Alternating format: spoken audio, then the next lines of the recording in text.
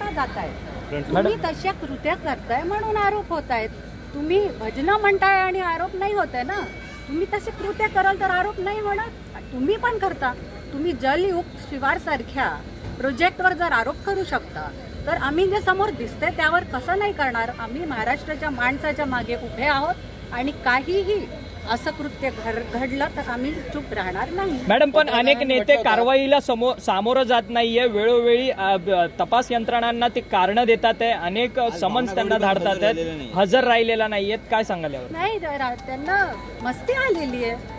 आता एक कुठेतरी हनीमीन एक कोणी आपले पोलीस कमिशनर असो की एक्स होम मिनिस्टर असो त्यांचे कुठे हनीमून चाललेत आपल्याला माहीत नाही. पण हे व्हायला नको ही खरी गोष्ट आहे. तुम्हाला पण कुठे दिसले तर रिपोर्ट करा लवकर पकडता येईल त्या लोकांना. ज्या पद्धतीने बांगलादेशामध्ये हिंदूंवरती हल्ले झाले त्याबाबत आता म्हणजे महाराष्ट्रामध्ये देखील भाजपचे काही नेते त्यांनी मालवणीमध्ये जाऊन थोडंसं निदर्शन वगैरे केले काय वाटतं तुम्हाला? महाराष्ट्रामध्ये देखील अशा पद्धतीने काही हिंदूंवरती अत्याचार होतोय का? इथे कोणताही अत्याचार झाला समोरी आला लुक समोर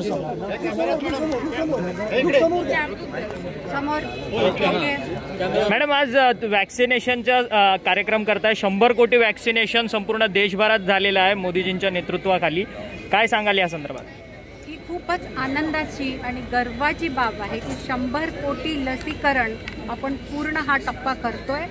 आणि ह्याच्या मागे मोदी है तो मुमकिन है आहे नक्कीच आणि अतुल शहाजींसारखे जे सगळे लोकांमध्ये राहिलेले लोक आहेत जे आपले कॉर्पोरेटर्स आहेत जे आपले नेता आहेत जे आपले कार्यकर्ता आहेत त्यांनी जी मेहनत याच्यात टाकलेली आहे त्याच्यामुळे हे आपल्याला हा आज हा दिवस साजरा करता येतो. अनेकदा अमृताशी आपण बघितलंय की लसीचा साठा अपुरा मिळतो म्हणून मुंबईतल्या महापालिकेनं तक्रार केलेली होती.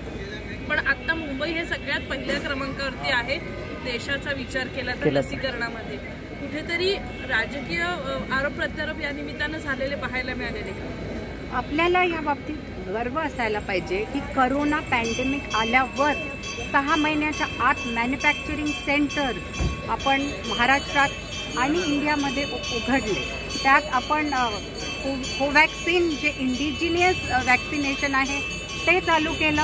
त्यात को- को- कोविशिल्डचं आपण इथे मॅन्युफॅक्चर चालू केलं. आता स्पुटनिकचं पण चालू केलं आहे नक्कीच सुरुवातीला वॅक्सिनेशनची कमतरता पूर्ण देशात होती पण आता पूर्णपणे सगळीकडे नीट ते उपलब्ध पण आहे. आणि जी सुरुवातीला लोकांच्या मनात भीती असायची याबाबतीत ती पण गेलेली आहे वेगवेगळ्या ड्राईव्हमुळे पण कुठेतरी राजकारण होताना पाहा- पाहायला मिळत नाहीये का? कारण की विरोधकांकडनं टीका सुद्धा केली जाते वॅक्सिनेशनच्या सर्टिफिकेटवरती टीका केली आहे.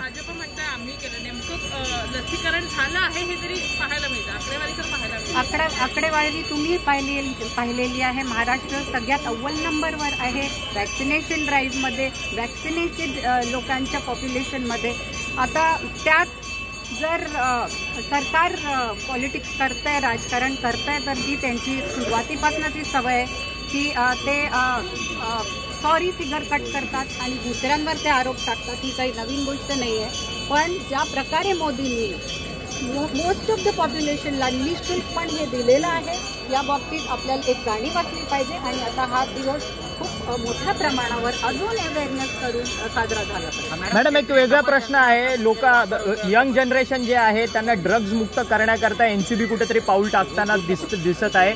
परंतु सरकारमधलेच अनेक मंत्री नेते मंडळी आहेत ते एनसीबीच्या जातीक असो कोणत्याही जातीवर अत्याचार व्हायला नको हा आमचा विचार आहे.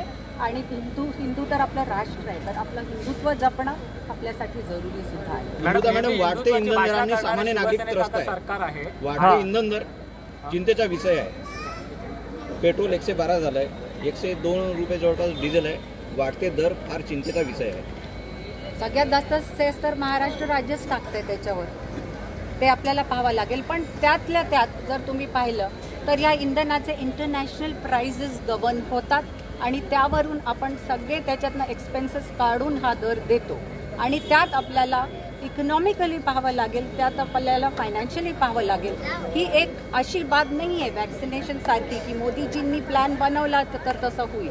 ही बाब आहे नॅशनल फायनान्स मॅनेजमेंटची आणि ते त्या त्या लेवलवर होत आहे. थँक्यू आणि दुसऱ्याच्या भाषणात हिंदुत्वावरून भाजपवर देखील टीका टीका केली. हिंदुत्वाकडे तुम्ही कसं बघताय? मी तुम्हाला एवढंच सांगू शकते. हिंदुत्व एक असतं. आणि हिंदुत्व प्रत्येकाला समान दर्जा देतं पण हिंदुत्वाला जपतंही. तर हिंदुत्व हे देणारं देणारं असतं. आणि आपण हे लक्षात ठेवावं की कोणचंही हिंदुत्व वेगळं नाही हे पॉलिटिक्समुळे सगळे वेगळे करत राहतात हिंदुत्वाला. आपलं सगळ्यांचं हिंदुत्व एक आहे. आपले सगळे देव आहेत. ते प्रत्येक देव कोणी ना कोणी मानतं. आणि मला वाटत नाही हिंदुत्वावर जास्त बोलायची गरज आहे. मग ते एक वे- शेवटचा प्रश्न. सामन्यामधून सातत्याने रोज टीका भाजपवरती केली जाते. राज्यपालांवर असो भाजपच्या अनेक नेत्यांवर असो आगपाकड केली जाते. सामन्याला काय तुम्ही संदेश द्याल? सामना टीका मग कोणावर करेल? भाजपवर नाही केली.